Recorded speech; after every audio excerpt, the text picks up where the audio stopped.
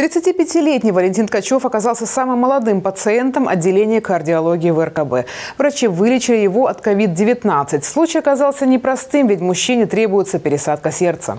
Но в РКБ его привезли на скорой не для трансплантации. Он заразился коронавирусом и находился в тяжелом состоянии. Врачи сделали все возможное, чтобы спасти пациента. Приступы происходит. Давление падает 50 на 60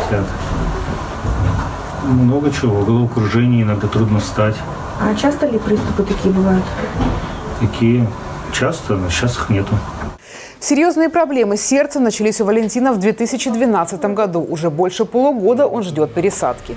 Витовская больница принимает не просто пациентов с коронавирусом. У всех, кто здесь находится, есть сопутствующие заболевания или травмы. Лечить таких больных непросто, но врачи справляются.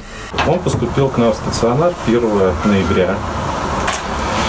Э, и буквально с клиникой коронавирусной инфекции, с высокой температурой, с двусторонней пневмонией.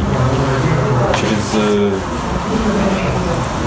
два дня у него клинически и лабораторно появились признаки цитокинового шторма, так называемого.